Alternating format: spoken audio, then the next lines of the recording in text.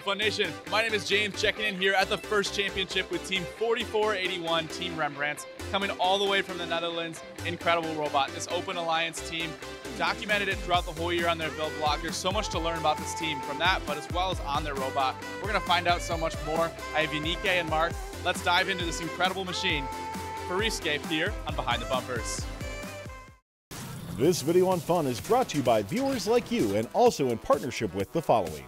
AndyMark provides superior service with the reliability that teams expect. Check out their sport gearbox and ratchet sport options to their tried and true compliant wheels used by teams all over the world. From mechanical and electrical products to tools and hardware, head on over to AndyMark.com for your one stop shop of high quality and affordable solutions. Get ready for one of the most unique and competitive events of the year with the Kettering All Star Alliance Invitational. Preform your alliance to compete against other preformed alliances for the entire competition. This event will take place August 8th and 9th, and applications are open through June 2nd. You can get more information by scanning the QR code, going to funroboticsnetwork.com slash allstar25, or checking out the post on Chief Delphi.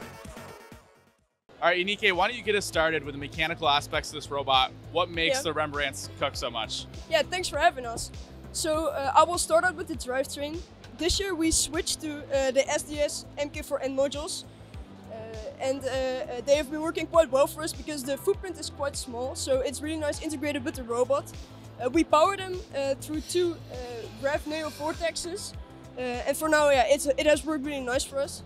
Um, in the beginning of the year, we immediately knew that we had to keep our center of gravity really low because uh, obviously we needed to reach far up in the air.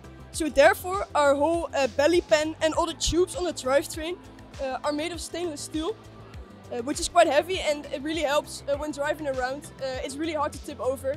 Uh, so it's, yeah, it has helped us throughout the season to stay upright as much as possible. Then we made a one-stage elevator for this game, mainly because we don't really have a lot of experience making elevators and um, it would be easier for us and within the resources that we have to make it a one stage and also for uh, all the wiring it's nice because uh, the motors can stay in the drivetrain uh, and uh, yeah, it's just easier to make it. Uh, on our uh, elevator we made a gripper with a pivot this pivot was needed to reach the height that we wanted because our robot is almost max height and we needed to reach a bit further up to really get to that L4 level. So we included a pivot right here. And uh, to this gripper is our uh, uh, gripper attached. This is a gripper that can both store a coral right here and also an algae uh, right here. So when we intake a coral, we go to the coral station and uh, our human player throws a coral in this big funnel that we have over here. And uh, the wheels in our gripper will just spin. They are powered with only one uh, vortex here and then with the use of different belts and some gears, we can power all four axles with wheels uh, in the right direction. Uh, when it's thrown to the funnel, it will just intake here and we use a, a distance sensor right here. This distance sensor uh, can see whether there's a coral in there and once it senses a coral, uh, it's just implemented in the code that we stop this motor. So then uh, we can just store our coral here and uh, drive around. And then uh, for our algae gripper, it kind of works the same. We also use a distance sensor here. And then once it senses um, an algae, first the wheels will stop, it will start rotating. And uh, uh, once it's in there, they will also stop. Uh, and it makes it really easy to, to intake the algae. And since we have this nice curved out uh, uh, shape here, uh, the algae is held really tight. And we can drive around and flip it out, and flip the elevator up in the air and flip the pivot without it uh, falling out. So that really helps for us to, uh, to make sure everything is uh, yeah, secured tightly when we drive around. Very interesting. Can you tell me a little bit more about this climber mechanism here? How did you guys actually prototype and make this climb work so well for you guys? Yeah, so I think our climber is one of the subsystems that we made the most iterations on. Our elevator is right in the middle of the robot, so uh, we had some difficulties during the regionals to uh, climb in a legal way because our uh, because the chain really tucks the, the, the axle here quite a lot. And uh, since our gripper reaches quite far down, we had to make a climber that could be packaged in the robot really nice, but also should be able to make a legal climb. So uh, we made this climber. It has, uh, it is powered uh, through one motor right here and you can just click out right here with these passive ledges and once it's locked in place it can't turn back and then uh, via this motor we can power this pivot. So currently it's folded out and uh, our driver can drive up to the cage uh, and via this funnel the cage will uh, get turned in, an, in the right uh, orientation and uh, it will get locked via these passive ledges. These ledges have an end stop right here so once the cage is in it will not come out and then we can pivot this climber back and the cage will rotate with it and we will climb. And during our climb, uh, we also implemented that the uh, pivot will flip all the way back here.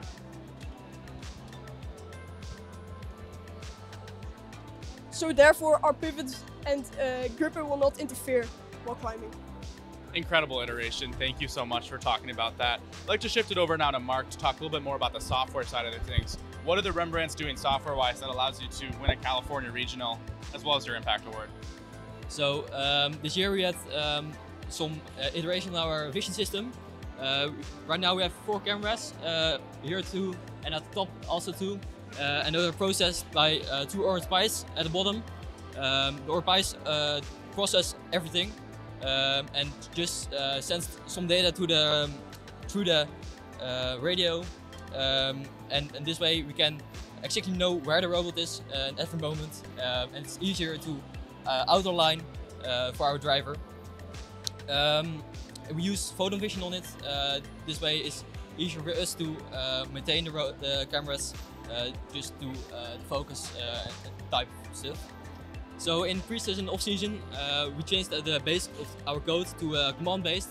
Um, last years we had problems with um, there was a lot, of, just a lot of code. Uh, was a bit mess, uh, and if we wanted to add something, it was really difficult. Um, it was just uh, something that our team stops from uh, being better. Um, and that way we, we um, chase through a command based, um, so it's easier also for our new students to learn um, and just maintain the robot and easier to uh, add something uh, to the robot great iteration and autonomous features on this robot. I'd like to talk a little bit more about 3DM, data-driven decision making. Your team's really pioneered this in the first place. Uh, Unique, can you tell me a little bit more? How does your team do that to optimize this robot? So when the game comes out, uh, the first thing that we do is uh, we take a look, obviously, at the game manual, but we also take a look at previous games and we determine which games uh, have similar aspects in it. And we uh, look at the data from these games.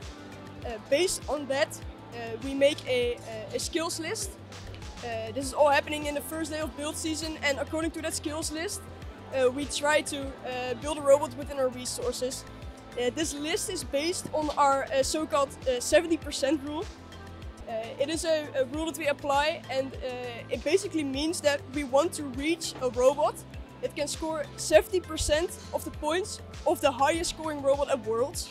Uh, because according to previous games, you have to win a California. you can win a week one California regional when you reach at 70%. We looked at uh, uh, quite a lot of years back, and and almost every year, uh, if you would reach the 70% of the highest scoring world's robot in week one, you would win the regional. So we try to aim for that, and uh, since we uh, don't have uh, as many resources as some of the top teams here, we really have to divide what we can and can do. So we try to make some smarter decisions to uh, save our resources and uh, we hope to build the best robot possible for week one without the uh, yeah without seeing the game played before. So. Well, Team Rembrandts, thank you so much for building an incredible robot this year, but also taking the time to talk with us here on Fun. Yeah. My name is James with the Fun Robotics Network. Thank you so much for watching. Thanks for watching. Don't forget to like, subscribe, and click the bell to stay up to date on future fun videos. Get ready for one of the most unique and competitive events of the year with the Kettering All Star Alliance Invitational. Preform your alliance to compete against other preformed alliances for the entire competition. This event will take place August 8th and 9th, and applications are open through June 2nd. You can get more information by scanning the QR code, going to funroboticsnetwork.com slash allstar25, or checking out the post on Chief Delphi. AndyMark provides superior service with the reliability that teams expect. Check out their sport gearbox and ratchet sport options to their tried and true compliant wheels used by teams all over the world. From mechanical and electrical products to tools and hardware, head on over to AndyMark.com for your one stop shop of high quality and affordable solutions.